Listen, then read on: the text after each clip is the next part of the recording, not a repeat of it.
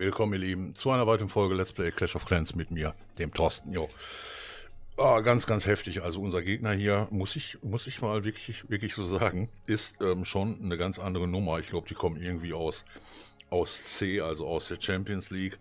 Denn ähm, 5-3er haben wir hier noch nie kassiert. Ähm, aber die Angriffsstrategie, ich zeige natürlich jetzt unsere Bases, ja, aber ich glaube, das ist auch nicht so schlimm. Sie legen eh jetzt brach, man muss jetzt eh eine neue haben. Aber ähm, alle Angriffe, ich glaube doch, es waren wirklich alle Angriffe, die die gedreiert haben hier, waren Blimp-Angriffe. Ausschließlich Blimp mit Drachen hinterher. Ähm, oder aber auch, obwohl, ich glaube nur mit Drachen. Ich glaube, es, es gab kein Blimp Lalo. Ähm, manchmal mit, noch mit kleineren Problemen, aber ihr seht das schon hier, wenn du die Blimp gut wirfst mit den Magiern und mit den Bogenschützen, je nachdem, wie wer was bestückt, dann geht hier schon eine ganze Menge aus der Mitte raus. Und ähm, aber das ist jetzt noch 15 auf 15 hier. Allerdings, habt ihr im Titel gesehen, gab es auch ein 14 auf 15 hier mit drei Sternen. Will ich brauche ja gar nicht vorwegnehmen. Und das ist schon beeindruckend, finde ich. Auf eine Max Base ähm, einen Dreier zu fahren, aber auch exakt mit der gleichen Taktik. Also scheint sie immer noch wirklich unheimlich stark zu sein.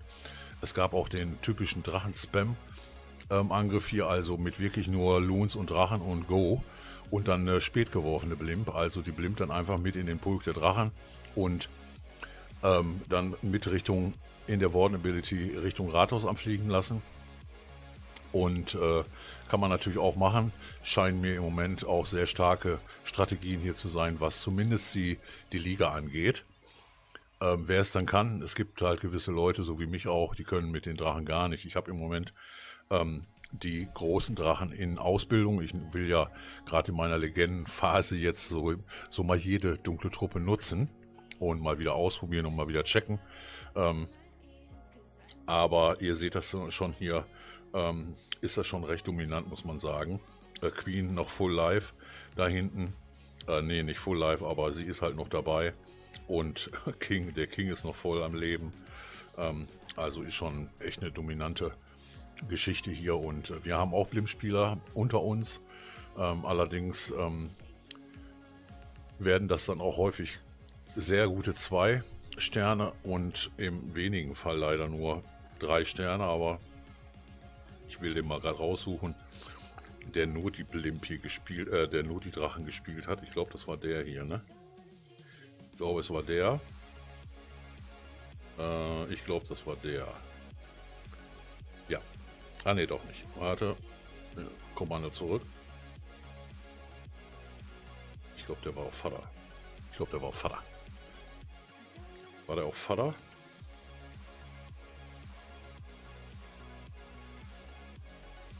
Ja, der war auf Vater. Okay, das ist er. Das ist der richtige Angriff, Leute. Entschuldigung. Das ist der richtige Angriff. Und ähm, also auch so kann man es natürlich super, super machen. Drachen raus, Loons mit rein ähm, ein, äh, Drachenreiter und dann die spät geworfene Blimp. Hier Richtung Rathaus noch voll in der Ability und ja, dann erledigen natürlich, wenn du dann die Unsichtbarkeitszauber etc. gut triffst, dann erledigen den Rest hier, was heißt den Rest? Eig eigentlich auch eine knappe Sache, denn die Bomben lösen da zwar aus, aber das juckt die Bogenschützin gar nicht an der Stelle. Und äh, die machen fröhlich weiter, beziehungsweise hier sind auch noch Magier mit da drin, also eine Blimp mit Magiern und den Superbogenschützen. Also ich gucke mir die Angriffsstrategien immer gerne an und ähm, versuche sie zu kopieren, denn das sind ja auch bekannte Dörfer hier, also auch der Gegner hat solche Dörfer hier teilweise. Und ähm, deswegen glaube ich, ja, ich weiß nicht, ob, ob man dann immer wechselt, wenn eine, eine Base gedreiert wird oder ob man sagt, ach komm, der nächste fehlt dann wieder. Ist immer schwierig zu sagen. Ich habe äh, zur, Liga, zur Liga mal wieder gewechselt, meine Base. Und noch hält sie mit zwei Sternen, also sie ist noch nicht gedreiert worden. Und solange wie die nicht gedreiert wird, da, da kennt er mich auch, da behalte ich die erstmal. Spätestens, wenn sie dann ein paar Mal oder eigentlich einmal reicht, äh, drei kassiert hat, dann wird es Zeit, dass man die Base wechselt. Denke ich mal, weil dann wird es, ähm, ja, wie soll man sagen, dann wird es zu schwer. Manchmal ist, reicht es ja auch schon, wenn man nur ein paar Fallen umstellt. Und ähm, oder eine andere CC nimmt, also eine andere, eine andere Clanburg oder andere Clanburg-Truppen, so muss man sagen. Was ich hier jetzt eben nicht verstanden habe, weil ich den Angriff ja schon mal gesehen habe, ist, warum hilft Diggi hier bei der Mauer und geht nicht direkt hier auf, auf, auf die Clanburg. Wundert mich eigentlich, weil der kann ja eigentlich alles unterbuddeln. Braucht da nicht jetzt ähm, eigentlich auf die Mauer warten, dass sie auf ist jetzt, weil jetzt geht er nämlich durch, ne? Jetzt geht er durch unter die Mauer durch. Aber okay, der unterstützt dann auch erst den Helden, ne? War ich eben so ein bisschen verwirrt. War ich eben wirklich so ein bisschen verwirrt. Aber okay. Jo, 14 auf 15 Leute. Die 15 ist, äh, ist bei denen ein 14er tatsächlich und Achilles kassiert 3, äh, was sehr, sehr bitter ist, muss ich sagen. Also ich würde jetzt nicht heulen, aber ich würde mir schon Gedanken, ich würde mir dann schon Gedanken machen. Ähm, aber okay, wenn du ein guter, guter 14er äh, bist und äh, so gut ist er noch gar nicht, aber er hat halt die notwendigen Sachen alle maxed äh, obwohl der King ja noch etliche Level geht. Der ist ja Rathaus 12 Niveau mal gerade so. Ähm, aber funktioniert ja, ne? Mann, Mann, Mann, als ich das gesehen hatte heute Morgen, ich denke, oh je, 5 Dreier haben die uns reingeballert. Schwierig das aufzuholen, zumal wir auch schon Angriffe verloren haben in dieser Woche, ähm, wegen Nicht-Angriffspakt einiger Spielerinnen, äh, Spieler hier, nicht Spielerinnen, Spieler hier äh, die da meinten, ich greife mal nicht an, weil wir sind, wir sind einfach zu gut und haben, haben einfach, ja, so viele Prozente und so viele Sterne, dass man auch Angriffe aussetzen kann, damit wir nicht, nicht, dass wir zu viele Sterne machen hier, ne, und womöglich noch aufsteigen. das wäre es auch noch. Aber der Aufstieg ist jetzt, glaube ich, nicht mehr zu holen, was nicht schlimm ist. Ja, ist nicht schlimm. Wir spielen ja jetzt unsere zweite Saison hier in Meister 2, glaube ich. Und ähm, die erste Saison haben wir noch mit 14ern gespielt, jetzt sind wir Only Rathaus 15, dann könnte man natürlich meinen, ja, da geht ein bisschen mehr. Geht es auch, Leute, ne? gar keine Frage. Nur, wenn man was versäumt, ich habe da ta tatsächlich bin ich recht entspannt geblieben. Eigentlich raste ich bei solchen Sachen auch immer gerne mal aus, aber ich bin da ganz entspannt bei geblieben. Die Leute haben sich entschuldigt, mein Gott, es ist, es ist nur ein Spiel und es sind nur Menschen. Und Menschen machen nun mal Fehler und keine Angriffe in Clash of Clans. okay, ich kann immer noch, ich, ich kann immer noch lachen, dann ist es, dann ist es noch nicht schlimm genug, Leute. Solange ich noch lachen kann, ist es noch nicht schlimm genug. Aber äh, trotzdem ist es ein bisschen ärgerlich. Naja, was willst du machen?